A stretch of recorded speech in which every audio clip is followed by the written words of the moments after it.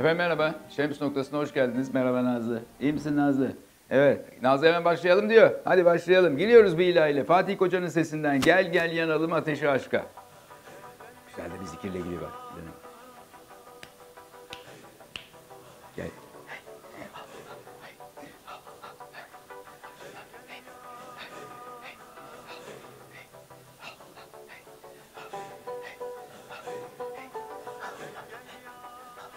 Arkadan Fatih Koca'nın sesi geliyor. Ne kadar güzel bir sesi vardır bu kardeşimiz.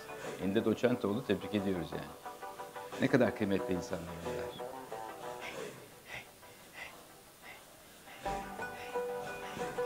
Zikirler o kadar önemlidir ki.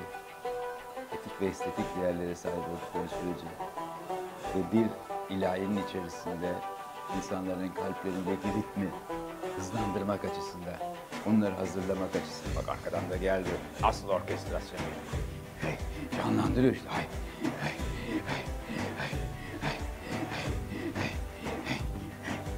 Tekke kazıntısı ne haber? İyi dinle.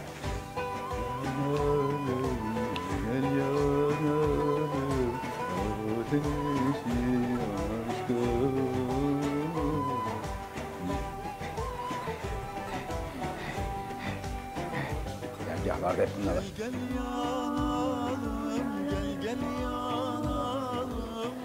Ateşi aşka canım Ateşi aşka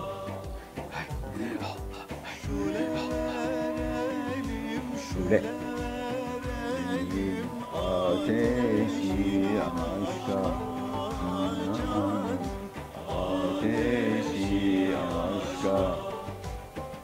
Evet.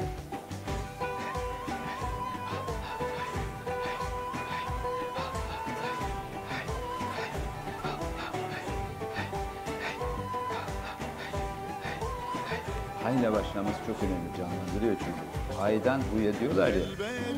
Zikir trafiği de böyledir.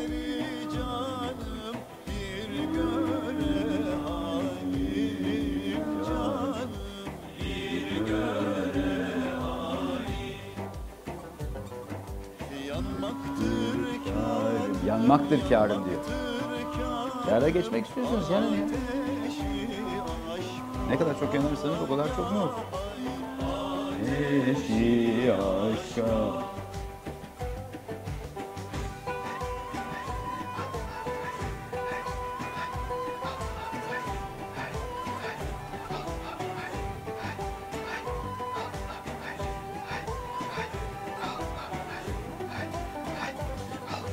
aşka. Nesimi, Seyyid Nesimi Terk resmi canım Terk resmi Yandır Bu cismi cismi Yandır Uyandır bu cismi Bak birincisinde yandır, ikincisinde uyandır diyor. ateşi Aşka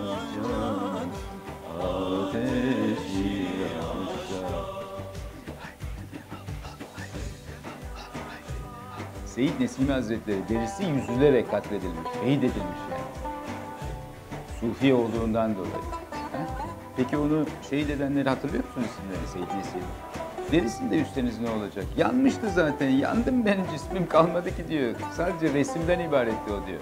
Resimden ibaretti o diyor. Yoktu diyor zaten. O altında yoktu o diyor. Derviş hırkasının altında yoksunuz. Varsınız, nerede varsınız? Allah'ta var. Ne oldu? Çok mu acıttınız yani? Dayanabilir mi bir insan derisinin üzülmesine? Allah öyle yapıyor işte. Ya deri. Deri ne ki? Aşımı. İşte büyüklere baktığımız vakit o kendi derilerini zaten kendi postlarını yere koyuyorlar. Onun üzerine çıkıp secde ediyorlar. İşte böyle. O postu üzerine oturmak böyle bir şehadetle beraberinde getiriyor. Görüşürüz. Thank you.